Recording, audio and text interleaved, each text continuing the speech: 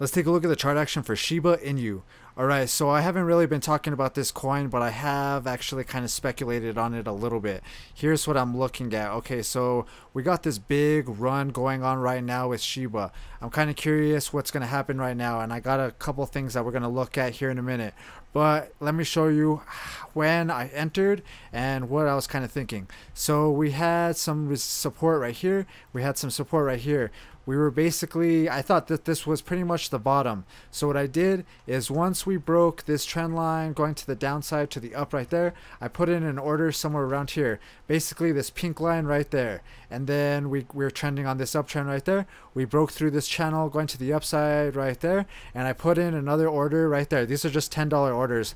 I wasn't really sure. I didn't want to make videos about this because I wasn't I don't know. I don't really know too much about this coin. I just kind of speculated on it. It seemed like it was kind of trending so I threw in another 10 bucks and it just started running. So after that, I've just kind of been letting it go.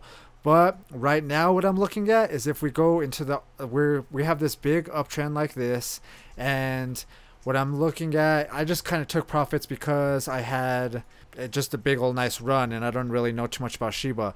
And if we go to the RSI, you can see on the one hour time frame, we have a bearish divergence. The RSI is trending down.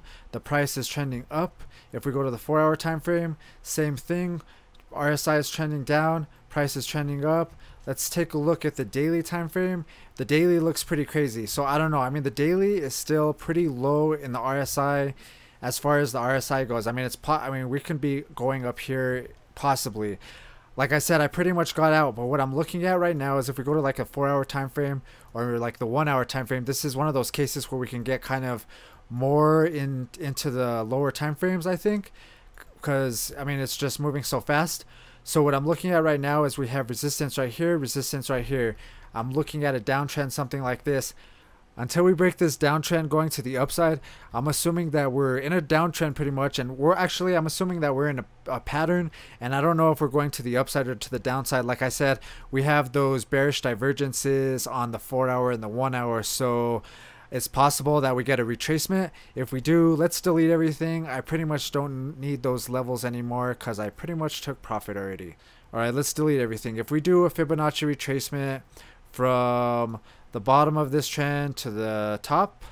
We have a wick that goes all the way up here. Let's do a Fibonacci retracement. So we'll get the Fibonacci tool, drag from the bottom to the top, something like that. And maybe we can look for the 38% level and the 50% level for possible bounces. Uh, so it looks like we're already breaking through that 50% level. What I would look at now is maybe the 61% level, sitting around 0.00001468 something like that, or maybe even come down to 1185. Those are the last four numbers. So I'd probably be looking at that. In general, though, I'd be looking at also this downtrend, something like this. If we could break this downtrend going to the upside, I might throw in another five bucks or something. We've went so far though. I don't know. I don't really.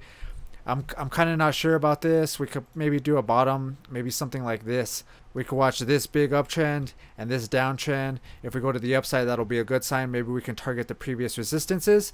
If we go to the downside, maybe target the previous supports if you're really bullish on Shiba Inu.